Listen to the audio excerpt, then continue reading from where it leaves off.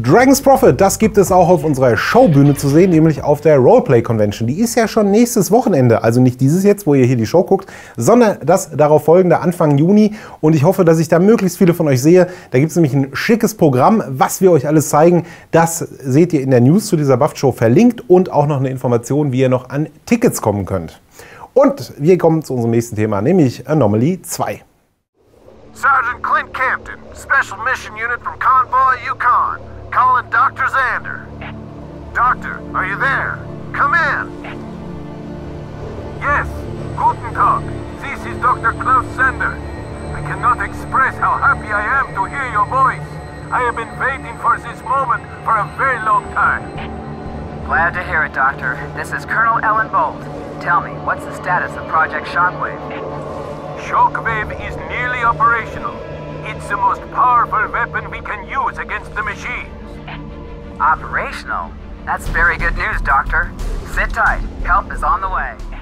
Und damit sind wir mittendrin in Anomaly 2, ein Name, den ich noch zehnmal falsch aussprechen werde in diesem Video, Juhu. weil der so ein bisschen Zungenbrecherqualitäten hat.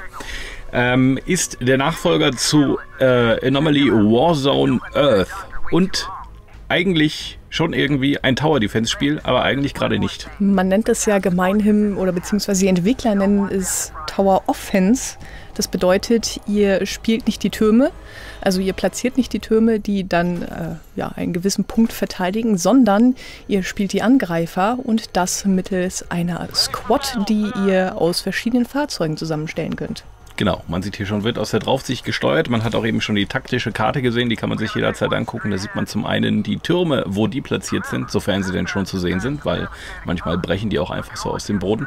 Und man sieht vor allem die Straßen, die Wege, die man nehmen kann. Ja. Denn, äh, wie das bei Tower Defense so üblich ist, gibt natürlich nur festgelegte Strecken.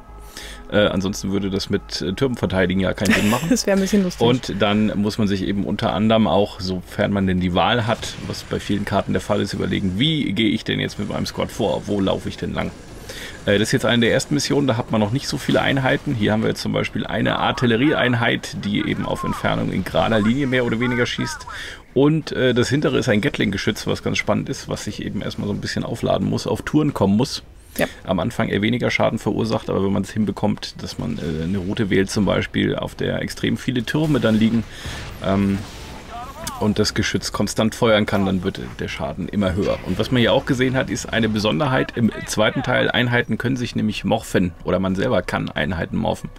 Äh, jeder Einheitentyp hat nämlich zwei verschiedene Mech. Formen, es sind ja mehr oder weniger Kampfmechs, die meisten, ähm, eben auch mit eigenen Stärken und Schwächen, wo man sich dann überlegen muss, äh, was man denn gegen welchen Turm und für welche Spielsituation verwendet. Um das zum Beispiel am Beispiel der Gatling Gun von eben zu erzählen, äh, die gibt es einmal in der Gatling Gun Form, die auf Entfernung auch ein bisschen schießen kann, relativ hohen Schaden macht, äh, beziehungsweise wenn sie erstmal warm gelaufen ist. Und äh, wenn man sie dann morpht, dann wird es zum Flammenwerfer, die vor allem zu den Seiten hin relativ viel Schaden macht. Was wir gerade auch gesehen haben, war einmal diese ganzen Routen, die man planen kann. Das heißt, äh, man überlegt sich, äh, welche Fahrzeuge habe ich. Wie ist es denn jetzt am logischsten, da lang zu kommen, weil natürlich unterschiedliche Fahrzeuge, be Fahrzeuge besonders gut oder besonders schlecht gegen bestimmte Türme funktionieren. Ja, da zum Beispiel hat man jetzt gesehen, da haben wir jetzt den Artillerie, das Artilleriefahrzeug kurz in diesen äh, anderen Roboter verwandelt. Der hat nämlich nicht diese Zieleinschränkung, dass er mehr oder weniger nur in gerader Linie schießen kann. Also, wenn man also nah an Türmen dran ist, ist das dann besser. Äh, und es gibt natürlich auch äh, verschiedene Turmtypen, welche die besonders stark sind oder langsam. Das da oben, wo gerade drauf geschossen wurde mit diesem roten Schutzschild, ist auch ganz besonders spannend. Wenn da in schneller Folge drauf geschossen wird, wird aus diesem eigentlich komplett harmlosen Turm, der nichts macht, äh, nämlich ein ziemlich kräftiger Turm, der extrem viel Schaden vor allem macht. Äh, da muss man also da aufpassen, dass man zum Beispiel die Gatling-Geschütze nicht ganz nach vorne stellt, äh, weil im Idealfall will man den mit relativ langsamer Feuerfrequenz wegschießen, bevor er überhaupt gefährlich wird. Das Ringmenü, was da immer aufgeht, das sind die Fähigkeiten des Commanders. Ihr spielt ja die kleine Person, die da nebendran herumläuft und Items einsammeln kann. Das sind diese Fähigkeiten. Äh, zu dem Zeitpunkt habt ihr zwei, nämlich einmal die erste, das ist äh, der Schraubenschlüssel dort, damit repariert ihr eure Wagen und die zweite ist so ein Ablenkungsmanöver. Das heißt, das könnt ihr platzieren und die Türme schießen dann exklusiv auf dieses Ziel, bis es natürlich tot ist und nicht auf eure Wagen, was so besonders praktisch ist. Ja, es gibt dann später auch noch mehr Power-Ups, zum Beispiel einen, einen speziellen Zielmarker, mit dem man den Einheiten sagen kann, hier schießt bitte auf den Turm, weil normalerweise folgen die natürlich so dieser typischen Tower-Defense-Logik. Der Turm, der gerade als erstes dran ist, auf den wird geschossen. Aber vielleicht möchte man sich ja auf einen anderen konzentrieren. Äh, Gibt es also Power-Ups. Ist auch ganz nett, weil man dadurch dann tatsächlich noch aktiv auch was zu spielen hat. Weil normalerweise wäre das ja ansonsten eher so ein Spiel zum Zugucken. Ja. Weil man ja die Einheiten selber nicht groß beeinflussen kann. Das hier ist noch so ein Beispiel dafür, dass die Kampagne auch durchaus sehr abwechslungsreich ist. Äh, auf der Karte hier, das ist übrigens dieser Zielmarker jetzt, weil ich in der Szene jetzt natürlich will, dass erstmal der große, besonders gefährliche Turm ausgeschaltet wird. Äh, auf der Karte ist es so, dass ich regelmäßig ähm, die Türme mal an- und ausschalten, dann für eine bestimmte Zeit deaktiviert sind. Ja. Da muss man dann also die Routen am besten so planen, dass man natürlich in den äh, Sekunden, die man hat, wenn sie ausgeschaltet sind, durch die besonders gefährlichen Gebiete fährt. Also äh, da ist in der Kampagne auch durchaus für das Spielkonzept, was ja jetzt nicht so furchtbar viel hergibt, äh, durchaus einiges an Variationen drin. Und was neu ist im zweiten Teil, ist der Mehrspielermodus vor allem. Denn man kann tatsächlich, das ging im ersten Teil nicht, ein Spieler kann die Squad übernehmen, also die Leute, die rumlaufen, und ein Spieler kann tatsächlich auch die Türme übernehmen. Ja, das Ganze wird dann ein bisschen unterfüttert. Man hat nicht einfach nur die Türme und äh, die Squad, sondern es gibt äh, einen Tech-Tree. Das heißt, jedes Mal, wenn ihr Punkte, beziehungsweise äh, Chorosorum heißt die Währung, reinsteckt, dann könnt ihr eine bestimmte Fähigkeit auswählen. Beispielsweise wird eure Squad schneller, wenn ihr die Squad seid, oder sie macht mehr Schaden. Oder die Türme machen mehr Schaden, wenn dann den Turm spiel spielt. Oder die Bauzeit der Türme wird verringert. Und jedes Mal, wenn ihr einen Punkt in diesen Attack-Tree reinsteckt, werden dann die weiteren Türme freigeschaltet.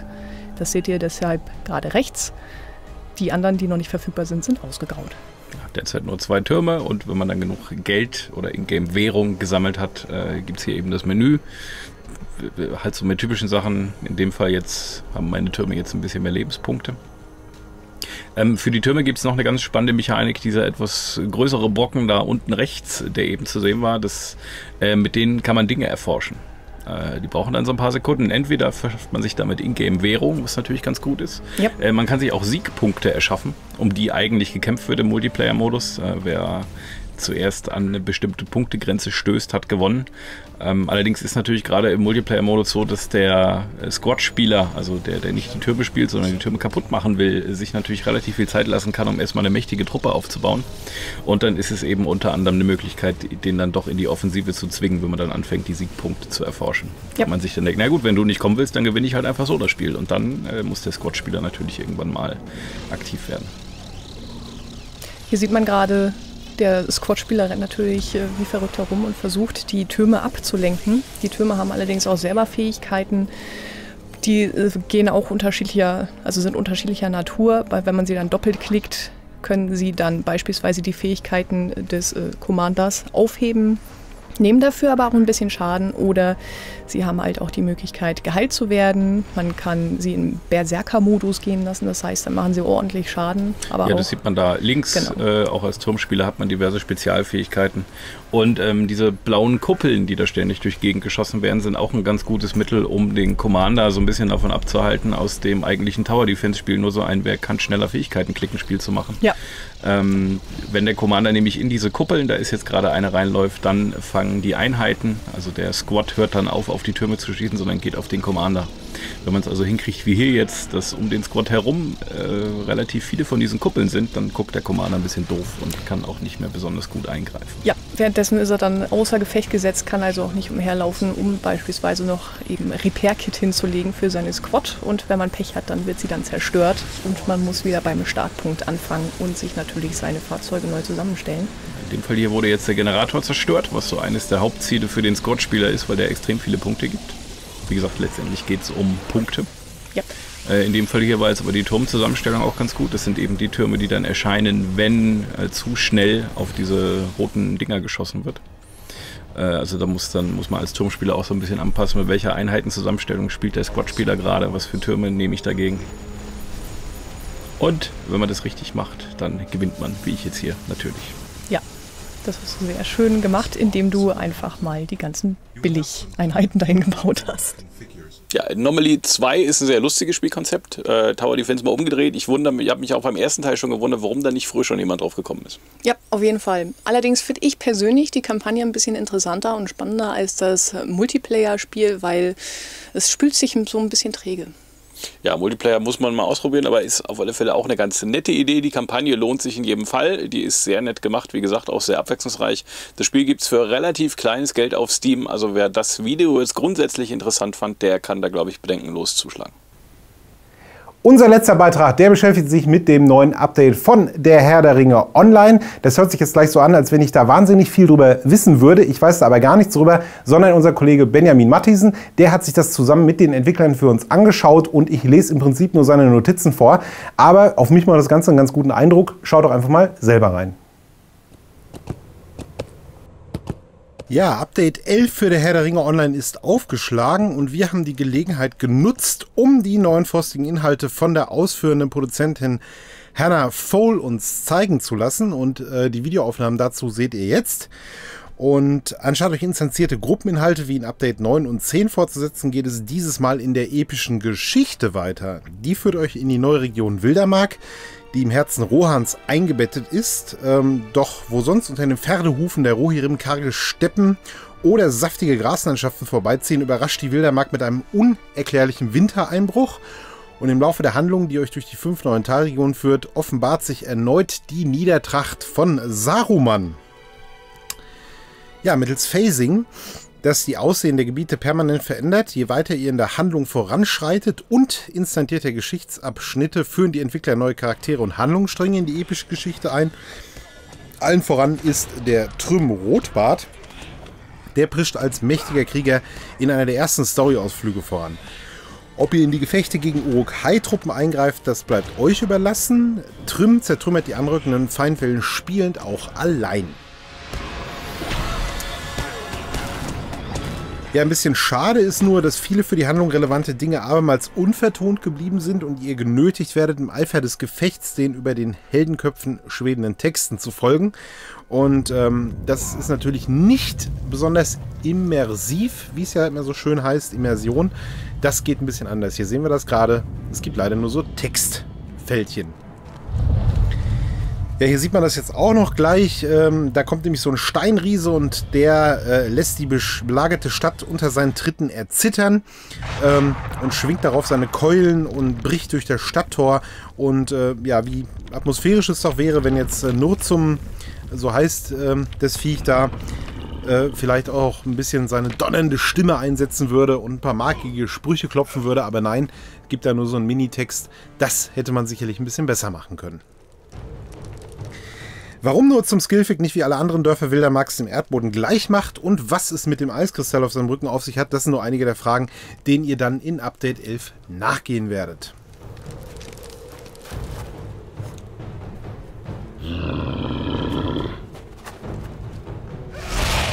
Da sieht man den besagten Eiskristall hinten und das ist natürlich das Geheimnis, was ihr dann ergründen müsst. Ja, und auch wieder eine von diesen Textzeilen, also das ist wirklich nicht besonders schön.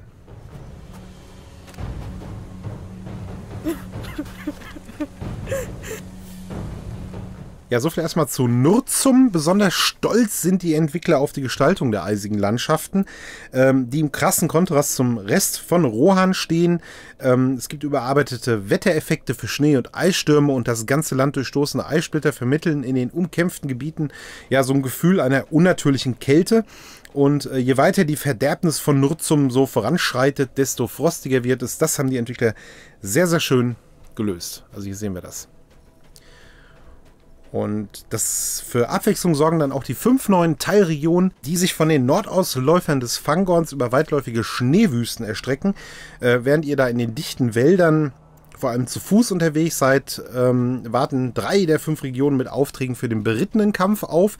Das wurde ja mit der letzten Erweiterung eingeführt und äh, 13 neue Kampfgruppen sollen dabei auch geübte Reiter vor Herausforderungen stellen. Das heißt, ihr habt ein bisschen mehr damit zu tun. Und da kommt es auch ganz gelegen, dass die Fertigkeiten eurer Reittiere mit Update 11 überarbeitet wurden. Von vielen Spielern essentiell angesehene Reittiertalente der gelben Reihe sind nur standardmäßig aktiv. Zusätzlich schaltet ihr nun neue klassenabhängige Fertigkeiten für euren Rappen in diesem Talentbaum frei.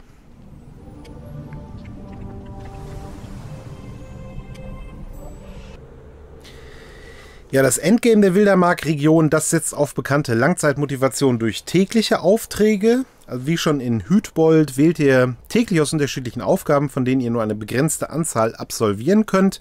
Für Abwechslung ist da also gesorgt. Mal müsst ihr Kriegstrupps zerlegen, mal ein Wettessen gewinnen oder euch im Handwerk beweisen. Ähm, also das ähm, hält dann auch beschäftigt und ihr langweilt euch nicht. Und wie schon im Restaurants absolviert ihr diese täglichen Aufgaben teilweise in der offenen Spielwelt oder eben in den instanzierten Abschnitten für bis zu 25 äh, Spieler. Vollkommen neu ist es natürlich nicht, aber wie gesagt, sehr unterhaltsam. Ja, und für den Abschluss unserer kleinen Rundreise hier durch die Wildermark, da haben uns die äh, Entwickler mal was ganz Besonderes gezeigt, nämlich das Mounted Fishing. Ähm, das ist ein neues Minispiel und es hat auch eine neue Spielmechanik, die ähm, mit diesem Update in der Herr der Ringe Online eingeführt wird und ähm, die euch auf Reittieren neue Fertigkeiten durch Questgegenstände ausführen lässt. In diesem speziellen Fall müsst ihr mit Speeren Fische fangen, indem ihr den Mauszeiger als Zielcursor einsetzt. Und ähm, diese neue Mechanik wurde ähm, nicht speziell für das äh, Speerfischen entwickelt. Also wir sind gespannt, was denn da noch kommt. Ja, und zum Abschluss lässt sich noch sagen, viel wichtiger für Spieler der deutschen Version ist, dass endlich die Fehler der Übersichtskarte mit Update 11 behoben wurden. Also insgesamt wieder ein sehr, sehr rundes Update zu der Herr der Ringe Online und wir lassen euch jetzt hier nochmal mit den letzten Bildern allein aus dem eisigen Rohan.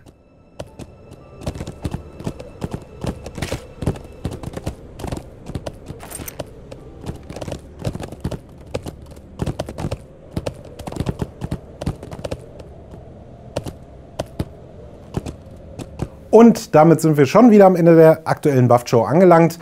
Ich hoffe, ihr hattet viel Spaß mit unseren Themen und würde mich freuen, wenn ihr auch das nächste Mal wieder einschaltet und die Kommentarfunktion fleißig benutzt, äh, was ihr denn noch von uns so wollt in der Buff Show und was wir besser machen können und vielleicht irgendwelche neuen Ideen für Formate oder sonst wie. Alles einfach da rein, wir lesen das alles. Und nicht vergessen, hier dieses Heft befindet sich am Kiosk und auch nicht vergessen, nächste Woche sehe ich euch hoffentlich auf der RPC. Deswegen besorgt euch noch schnell ein Ticket, wird bestimmt eine tolle Sache. In Köln findet das Ganze statt und neben mir sind auch der Olli da und die Marie und Florian Emmerich ist auch da. Der erzählt ein bisschen was zu Dragon's Prophet. Und ja, mit diesen Worten, bis zum nächsten Mal. Ciao.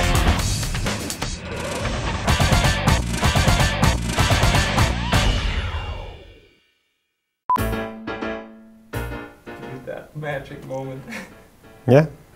Gut. Jetzt. Dann noch ein Beitrag. da könnt ihr euch beteiligen, welche denn von der neuen Konsolengeneration für euch in Frage kommt. Im Verlag. Wissenschaft Das und. darf ich aber in die Aufwechslung nehmen. Das darfst du mit mir auch. Also geht zum Kiosk, kauft es euch oder bestellt es bei uns hier im Verlag. So, und jetzt geht's zu unserem nächsten Thema, nämlich WoW. Im Verlag. Ja, PlayStation One oder X. Denn dafür, für diese beiden Konsolen, jetzt krieg ich sie beim nächsten Mal. Ja, Dragon's Prophet, das könnt ihr nochmal machen. ich äh, werde euch das gleich vorlesen. Na, nochmal, warte, ich hab's gleich.